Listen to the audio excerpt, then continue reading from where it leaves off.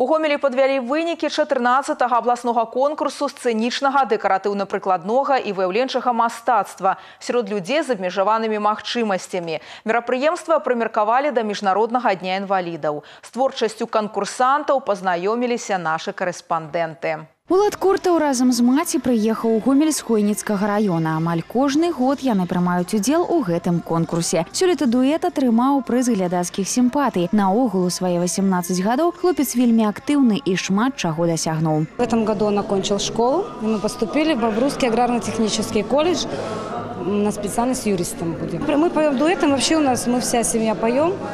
Мы в Хойниках э, ходим, как сказать, участвуем в самодеятельности и принимаем участие во всех мероприятиях города, ну, в том числе и Влад. Дарэчы, прадстаўнікі хойніцкай раённай арганізацыі беларускага таварыства інвалідаў занялі першае месца ў намінацыі дэкаратыўна-прыкладное мастацтва. Для конкурсу наведвальнікі мясцовага аддзялення дзённага знаходжання інвалідаў зрабілі абрадавыя лялькі. Адзначыліся яны і ў іншых відах мастацтва. Пару человек, которые посещают отделение дневного пребывания инвалидов, вот они на конкурсе сегодня будут танцевать.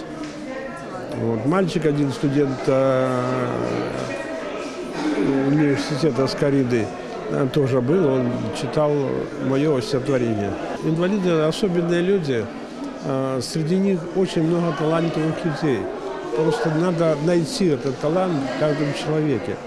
Ну, стараемся искать, вот, приглашаем на такие мероприятия, привозят. Удзельнікамі конкурсу мастацтва сталі больш як 150 людзей з абмежаванымі магчымасцямі. Яны прадставілі 17 раённых аддзяленняў беларускага таварыства інвалідаў. Дарэчы, самой грамадскай арганізацыі нядаўна споўнілася 30 гадоў. Конкурс талентаў на гомельшыне праводзіцца штогод і цікавасць да яго расце. Многія з гэтых актыўных людзей пастаянныя ўдзельнікі творчых мерапрыемстваў. Некаторыя маюць вопыт выступленняў на рэспубліканскім і міжнародным узроўнях. Самая главная цель, я считаю, что этого фестиваля, это все-таки э, социализация наших э, лиц с ограниченными физическими возможностями, наших членов организации э, в нашем обществе. Потому что, понимаете, мы должны предоставить для них какие-то равные условия, равные права, выразить свою жизненную позицию, э, св- свое активное участие, чтобы они не закрывались в четырех стенах, а именно принимали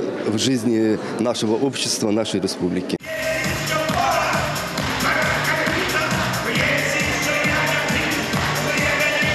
Пераможцаў конкурсу ўзнагародзілі ў дзевяці традыцыйных намінацыях, сярод якіх вакальныя і інструментальныя жанры, жэставыя спевы і акцёрскае майстэрства. Ганна Каральчук, Алеся Рудзянкова, Яўген Макенка, Ігор Марышчанка, тэлерадыёкампанія Гомель.